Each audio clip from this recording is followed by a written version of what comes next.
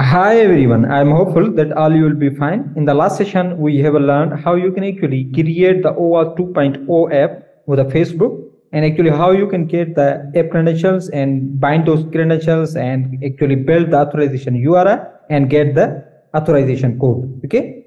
In today's session, we will learn how you can actually exchange that authorization code and get the access and refresh tokens. So for that, we first need to stop this API. I'm just going to stop that okay? And then we need to build the handler regarding exchange the authorization code to get the access token. Okay? So for that you need to first install package. If you are also using node.js then you need to install npm i axios. Okay? Package is installed successfully. Now you just need to import that package. So we say axios and we need to hire axios okay? And inside the redirect handler we need to build a get request and we will exchange the authorization code which we have uh, got from this authorization url and we will get the access token okay? So now let's start to build the request. So here we say const data and we need to also set async here and then we need to set await need to call axios. Here we first need to set the URL. So the URL will be https graph.facebook.com slash the version number. Okay so we need to copy this environment variable from here and we need to paste that here. And then OAuth and then you need to set the access token. Okay access token at the end, you need to set the four different type of query parameters with this URL. Okay, four different query parameters will be first one will be the client ID. Okay, second one will be the client secret. Okay, third one will be redirect URI, and the last one is authorization code as a code. Okay, so you can see we have a code also and we have already set it uh, all three environment variables inside the .env file okay so now let's bind those here. So we need to use a string interpolation and we need to copy and paste the environment variables.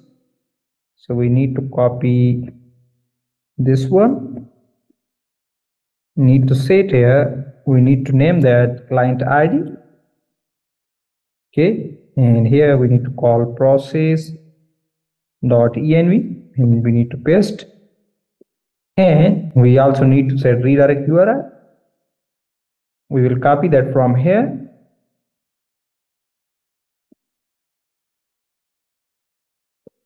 Okay. And then we also need to bind the client secret. And we need to paste that the redirect URI and we need to copy the client secret variable name. Okay. And we need to replace this. Okay and at the end we need to set the code authorization code okay? By setting the param name called code okay? So we need to set here code.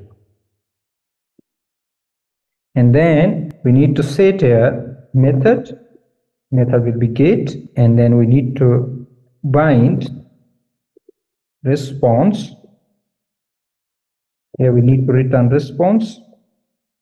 And we need to bind catch okay so we say error, return error. So there is a type of mistake, error, okay. And then we need to return back data, need to format code, okay. And I have already exported that and redirect binded here. We just need to place a breakpoint here and here, okay. Now let's start the API once again npm start. Navigate back to the browser. And here we need to call localhost port 4000 slash api facebook authorize and you can see we have uh, data and inside the data you can see we have access token okay? So i'm hopeful that you have enjoyed this session. If you have any query regarding this session then just please place your queries inside the video comment section Either you can share your queries and suggestions by my share contact details. Hopefully, we will come back with another session. Take care. Bye bye.